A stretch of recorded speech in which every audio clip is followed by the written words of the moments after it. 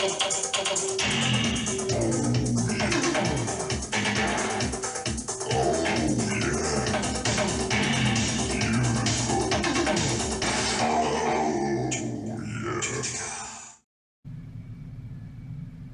right, guys, here we go. As promised, you guys know in my previous videos, I showed um, the antique version of their four ounce, um, four ounce hammer and anvil. The anvil's four ounces, the hammer is one ounce. And uh, here it is again, if you guys missed it. Need to block out the background, apparently.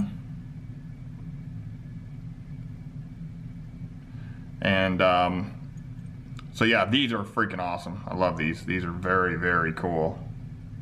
So really, really digging these. But like I said, they actually come in three different uh, versions. They come in, this is the brushed antique, um, which I believe is my favorite. Um, down in the comment section, let me know what your guys' favorite are of the, of the three. I'm just curious to see what everybody thinks. This is the shiny I know a lot of people like their silver shiny. Let me tell you, this thing is shiny. Super, super well polished. They're all the same. The only difference between any of these are the um, the um, finishes on them. So very, very cool. Um, for those of you who are interested, I know a lot of you guys asked me last time. These are sold out. They are limited to only 100 and then you get to pick whatever finish you wanted. They would do them up basically custom. Um, but they're coming out with a five ounce anvil and a new hammer design. That should be out, I'm guessing, in a couple weeks. That will be um, not quite as limited.